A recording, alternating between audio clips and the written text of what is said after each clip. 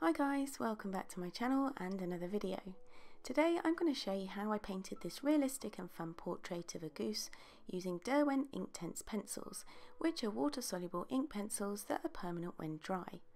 I'll be trying out all the different ways you can use them in your artwork, talking about their properties and discussing some of the pros and cons. I'll also be testing out a tip I received from a subscriber last week, so make sure you watch till the end to see how it worked out, and I hope you enjoy the video. All the materials I'm using today will be listed in the description box below this video, along with a reference photo from Pixabay. So let's get started. I'm using Arches hot press watercolour paper today and masked around the edges of my pencil sketch with washi tape to get a nice white border. I'm starting off with a white pencil in my set which is actually called Antique White and I'm using it to mark in where the highlights are in my painting.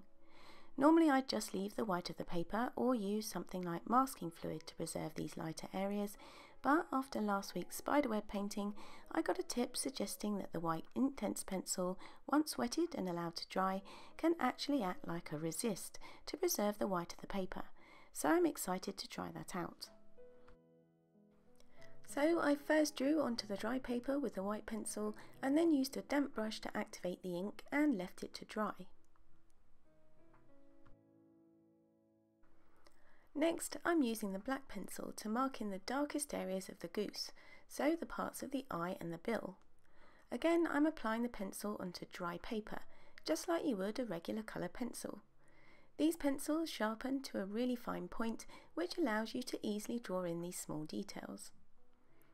One thing to bear in mind though is if you are planning on adding water to these pencils, as well you might be, then the more pigment you lay down when it's dry, the more intense the colour will be when wet.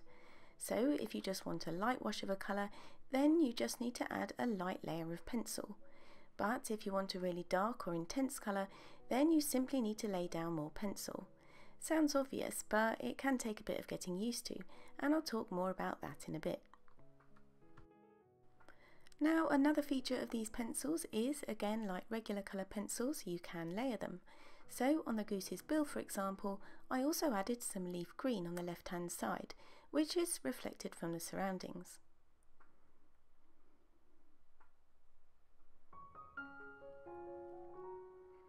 I also used a light layer of bright blue on the tip of the bill.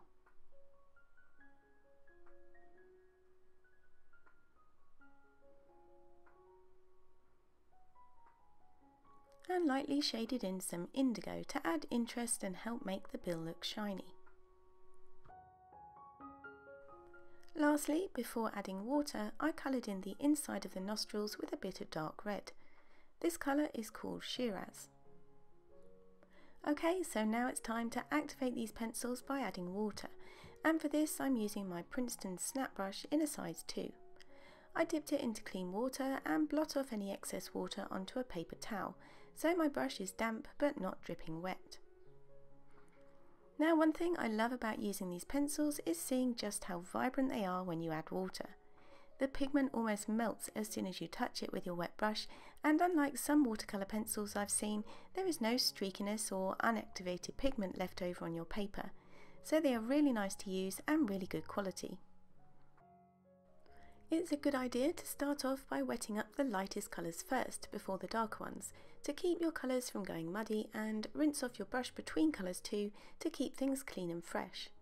They are much like watercolour pencils in that respect if you've ever used those before, but the difference with the Inktense pencils is that they are permanent when dry. So I started off with the eyes and then rinsed off my brush before adding water to the light layer of leaf green pencil I'd laid down on the bill. Now one downside to these Inktense pencils is that I find the colours can look quite different when wet compared to how they look when dry. So as well as trying to judge the amount of pencil to lay down which I mentioned earlier, you also have to bear in mind how different they might look once activated with water. And this is especially true if you layered several different colours over the top of one another. So it's a good idea to perhaps make a swatch sheet and have a play around with them before you start, so there are no nasty surprises on your artwork. That said, it's always fun to see your painting come to life at this stage, with the added benefit that once dry, the ink is permanent, and you can easily add more layers over the top if you need to, without worrying about disturbing any of your previous layers.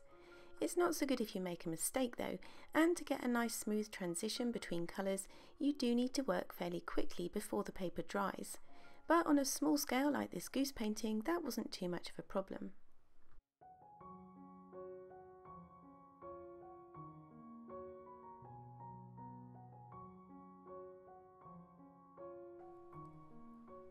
I'm going to colour in the eye on the left hand side next and for this I'm using a willow colour and applying the pencil to dry paper again. I'm really interested to see if the white pencil I've laid down earlier does actually resist any colour bleeding into it when I add water. So let's take a look. I was confident that the black pencil which had dried wouldn't reactivate and bleed into the brown of the iris, but I didn't feel like there was much of a resist effect from the white Inktense pencil when I wet the brown pencil. That said though, I was able to easily lift any pigment from over the top of the white highlight areas, which was good, but this is such a small area, so I'm going to try it out on a separate sheet of paper in the hope that it might show up better. So here I'm just going to draw out a white line activate it with water and leave it to dry and I'll come back to that later.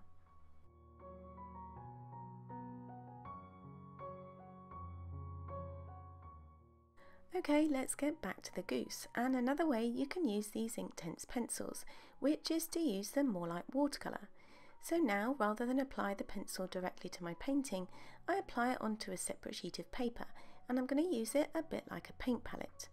I then activate the pencils with water and apply the inky mixture to my paper using a brush. You can even use techniques you've used with watercolours, so on this side of the face I wanted a softer, more subtle application of colour, so I used the wet in wet technique, pre-wetting my paper first before adding in the pigment.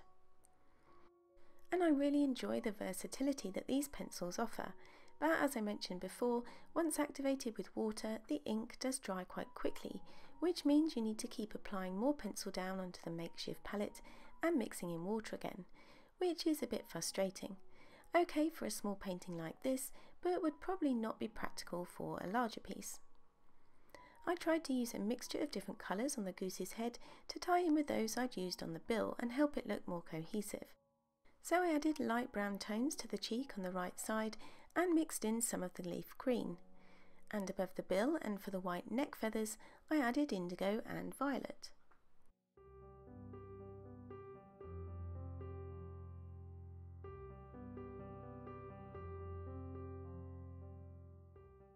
Using the pencils in this way enabled me to get a lot of precision and control and I was also able to, whilst the paper was still wet, drop in a mixture of other colours too. I also used the same method to apply colour to the top of the goose's head as it allowed me to get in the tiny feather details here just by using my paintbrush and applying the activated pigment onto dry paper. The colour of this pencil was called Bark.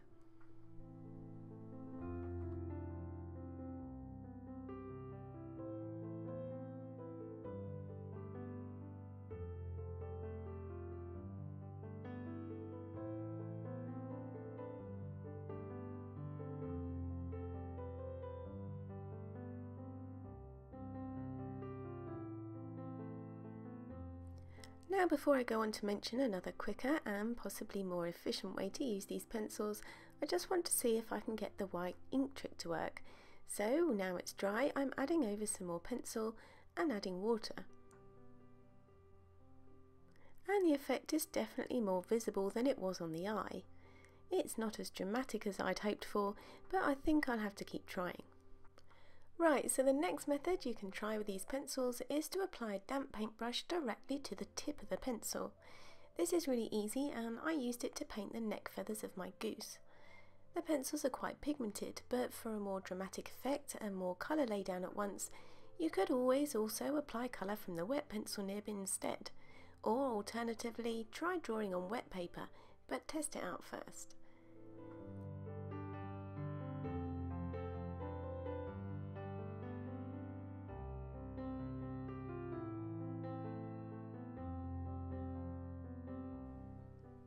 When this first layer had dried, I went in and applied another layer over the top using a colour called Baked Earth to add in some darker feathers. This time though, I applied the pencil directly onto the dry paper. And you can keep on adding as many layers as you want until you're happy with the colour and the result.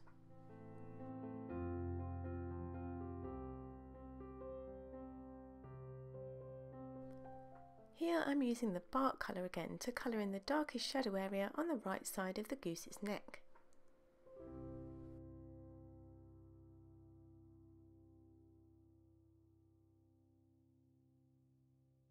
Now I'm using my paintbrush to activate that pigment.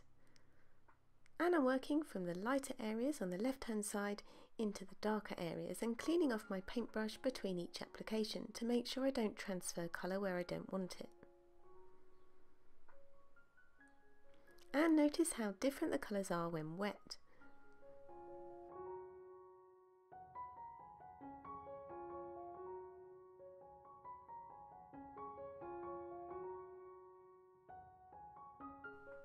For the duck's back, it was back to the tip to tip method though, where I used the tip of my paintbrush damp onto the tip of the pencil. Now this is all well and good if you have the colours that you want, but something else you might need to do is to mix up a colour you don't have, especially if you don't have a full range of colours. I've had this 24 set for quite some time now, and whilst I had most of the colours I needed for this painting, I did miss having colours like sepia and burnt sienna for example, so in this case there are a few things you can do. The first is to experiment with mixing a few colours together on a separate sheet of paper, and this is what I did to add more colour and depth to the feathers on the goose's neck. I mixed up willow, shiraz and bark together. And this gave me a really rich, deep and dark colour which was exactly what I wanted for the right side of the goose's neck. However, if you can't mix or you're struggling to mix the colour you're after, there is another thing that you can do, and that is to use another medium, like regular colour pencils or watercolours for example. So end up with a mixed media piece, and there really are so many possibilities with these pencils. You can even use them to add a glaze like you would in regular watercolour to change up the colour of an overall area and I did this on the back of the goose by adding over some of the leaf green as I could see this colour reflected from the surroundings in my reference picture. For a few different effects you could also try wetting your paper and adding some splatter effect by shaving off some of the pencil onto the damp paper and letting it bleed out for a looser look.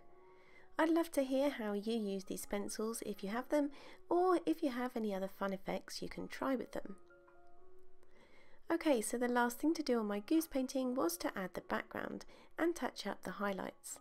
And for the background I decided it will be easier to use regular watercolour. I chose sap green for this from my Schmincke set of half pans and applied it to dry paper.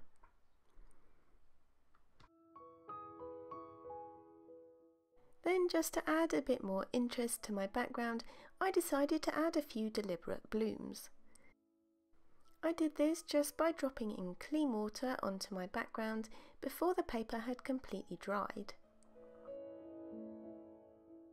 So now the paper has dried, I can go in with my white gel pen just to brighten up those highlights in the eye and on the bill, as I didn't feel that the antique white pencil was really quite white enough but I did really enjoy using these Inktense pencils and I would love to know what you think of the final piece.